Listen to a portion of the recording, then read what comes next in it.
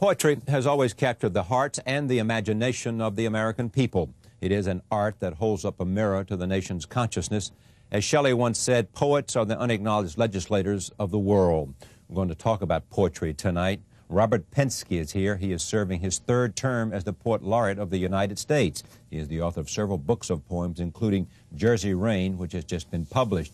He's also an acclaimed essayist and translator of Dante.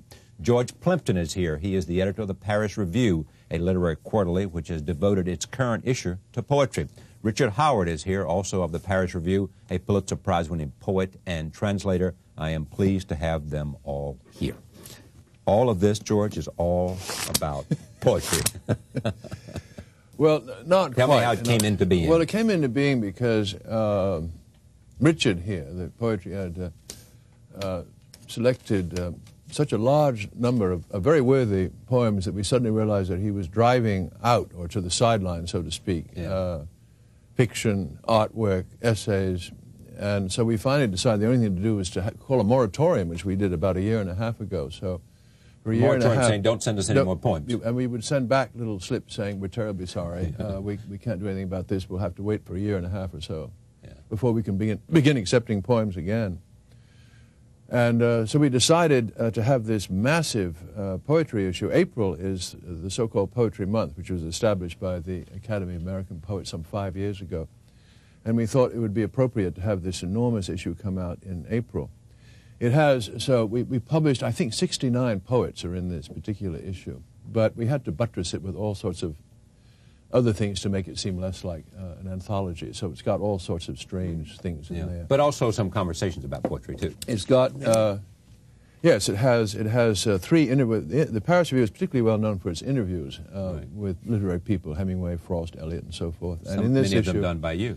Some. And in this issue, we have uh, Robert Bly and Geoffrey Hill and uh, Derek Mahon, uh, three very distinguished, very interesting. Yeah. And Carolyn Kizer, four, I guess. Carolyn Kizer, absolutely right. And um, and also we did we did something that I think uh, horrified Richard when uh, we suggested This it. was We, all done without my knowing. best to work behind the poetry editor's back.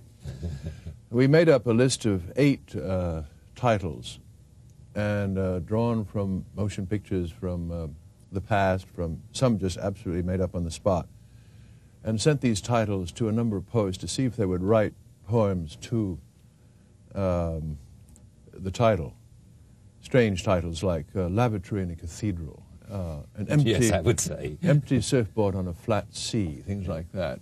And, and they uh, would write to that title. and they was uh, like a poet laureate. Yeah. Um, and uh, there were some people that were rather upset. I think we got some. Uh, poor Richard got some letters from some of his friends saying, "What on earth is going on here?" what, are you gone mad over on Gone 72nd. Street?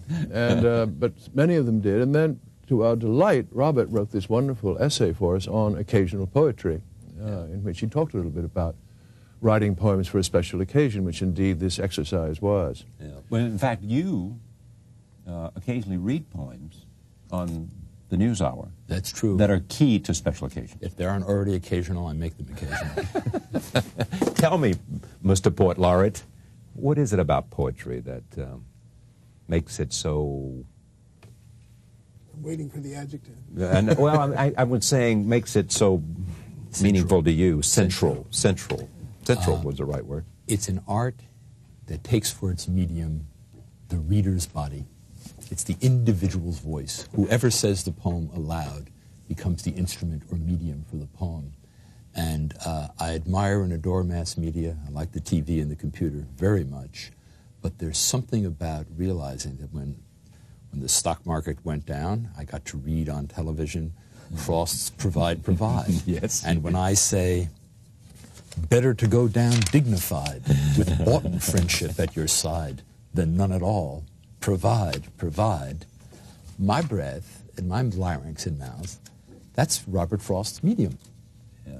And I think that aspect of poetry, that on the one hand it is public, it uses words, which are like quarters and dollar bills. People use them and exchange them all day long.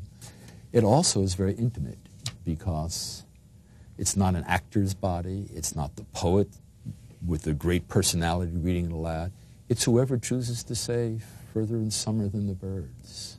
or once out of nature, I shall never take my bodily form from any natural thing. And that person, reading it to one other person or muttering it aloud to herself in a car, that person is the medium. And in the presence of mass media, I think we increasingly crave um, something that is great, but also on an individual and human scale. Mm. Let me just mention something about you because you'd call me about this and I couldn't do it. But you went out and had people read, select and read their favorite poem. And it had to do with people from all walks of life. Yes. Uh, and that I, there's now a book, This America's book, Favorite Poems. There are 200 Americans' poems. favorite poems. Yes, Americans' favorite poems. There are 200 poems. Each poem is accompanied by what I think are quite extraordinary letters from ditch diggers and parole officers and optometrists and circus acrobats and librarians, uh, saying people not within our world, but from various social and ethnic and age and geographical categories, saying very pertinent, very moving things about poems. And we've now shot the first 50 videos of these people. Uh, the News Hour with Jim Lehrer has shown a couple and gotten a lot of letters, letters in response. And um, I think it justifies this notion that part of what it is about poetry is that it gets into you. You can see a person read a poem. I can't see you listen to music or watch a play. I can see your face while you're doing it. But if you read a poem aloud, I'm seeing you experience the poem. And uh, I'm very proud of these videos. I, I hope we shoot some more of them. What does the technology do to this world of poetry? All right, it's your subject. Um, I've already said that in some ways I think the upsurge of interest in poetry in the country is a reaction to our love for technology. Yeah. The fact that it's a technology that's ancient and uses the grunts the primate has evolved, something so fundamental, no equipment, part of its popularity. But it is true that at www.favoritepoem.org, you can see the ditch digger, as he describes himself, who lays gas lines for Boston Gas, talking very eloquently about Whitman. You can hear him read it aloud. Uh, you can hear Pov Chin, Cambodian immigrant, uh, talk about her parents seeing children, their children killed in front of them, and how her anger at their overprotectiveness and her guilt about that are caught in a poem by Langston Hughes. Mm. And this is made available to a lot of people through technology. Um, the, it's kind of a medium inside a medium. As Richard says, there's the print medium that tells us what the voice will do as a medium. And the internet and these, I think, quite remarkable videos that we are showing on the NewsHour uh, now are use technology as a way of transmitting and preserving uh, a very fundamental, uh, ancient technology. I've known Robert a long time, and he is the first poet I've known who many years ago was interested in the technologies that we now call the media. And I think you were prepared for what has happened in a way that no other poet has been. I have a kind of uh, why not try things attitude. The, the American Academy of Poets was telling, the Academy of American Poets was telling me yesterday, Bill Wadsworth, who runs the thing, telling me that the it gets eight million hits a month and that poetry is the eighth. In fact, I have a list here. He gave me a list. He gave me a list of his eight. It runs. It runs on the web. It runs. This is the uh, Lycos search engine. Yes, the the Lycos search engine says that it runs. Poetry runs number eight. It runs after Pokemon. Yeah. Star Wars, wrestling, and Pamela Anderson. That's wrong. We're, we're, poetry actually is one ahead of Star Wars. Yeah. One ahead behind Star Pamela Anderson. Yeah, I think that's right. Pamela Anderson is more popular no, than football, no baseball, golf, and the Bible marijuana and guns. And so there's where poetry sits, which is an astonishing, astonishing Not figure. a bad place to be. I got some more questions. Let me just run this. This is from the Favorite Poem Project, since you were mm-hmm. talking about it. And this is John Doherty on what Walt Whitman's poem, Song of Myself, means to him.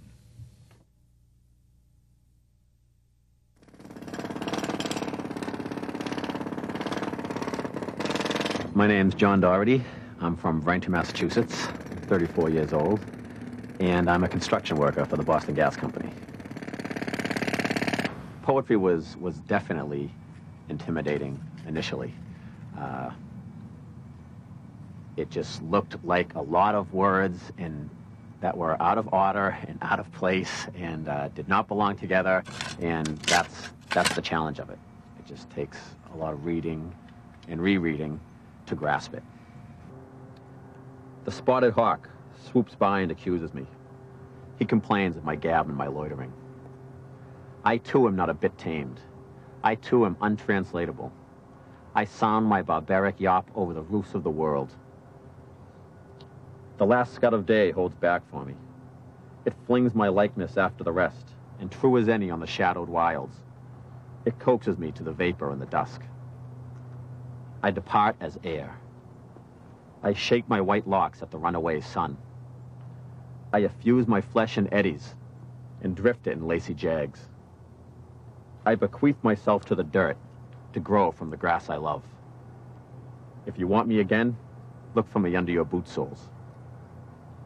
You will hardly know who I am or what I mean, but I shall be good health to you nevertheless, and filter and fiber your blood. Failing to fetch me at first, keep encouraged. Missing me one place, search another. I stop somewhere, waiting for you. While we were watching that, George said to me, I was made to whisper Whitman uh, for Ric, by Ric Burns when he made the film about New York.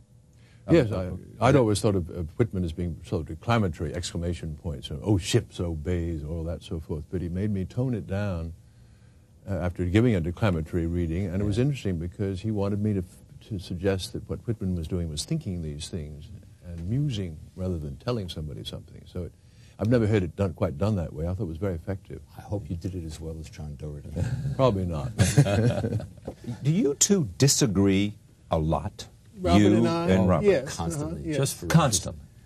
Yes. About, Well, I think about. in essence, what's it about? Well, I think I can perhaps say that Robert thinks that poetry can be and perhaps should be public, and I think poetry can be and must be private. Explain more. Well, I like to leave it a little bit ambiguous. Well, why but- private? Private mean just between the reader and, and his own or her Well, own Emily heart? Dickinson used to say there is a major and a minor in poetry. Shouldn't there also be a private? And I think that's she's she had the right uh, approach, and I think she's, by the way, the the poet I would like to emphasize as a private poet. There was this exchange between the two of you.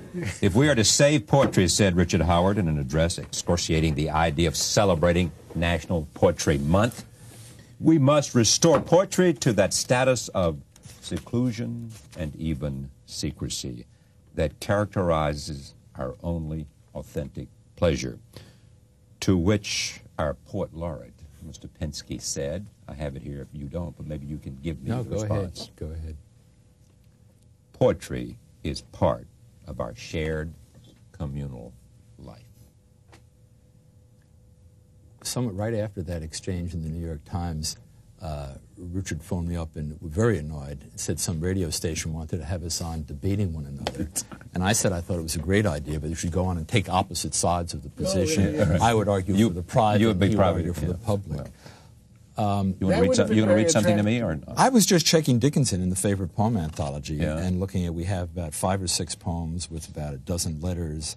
Uh, one from a zookeeper in the Bronx Zoo, worked in the bird department for over eight years, who chose "Hope is the thing with feathers." And then we have Gladys Galvez, 10, student, Phoenix, Arizona. Picked this poem has meaning in my life. The bird creatures are my favorite animals, etc. I have my private experience of the Dickinson poem.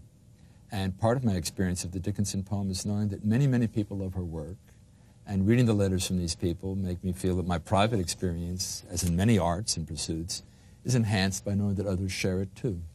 But Richard is such a mean-spirited cur that he doesn't, he doesn't feel that way. Well, this Paris review is all that we have said it is. Um, I would think that if you um, care about poetry and if you want to know more and if you want to just experience poetry and all that uh, the enjoyment that comes not only from the poem but from the dialogue and conversation, uh, here it is. Thank you, George. Thank you so much, Charlie. Real pleasure. We'll be right back. Stay with us.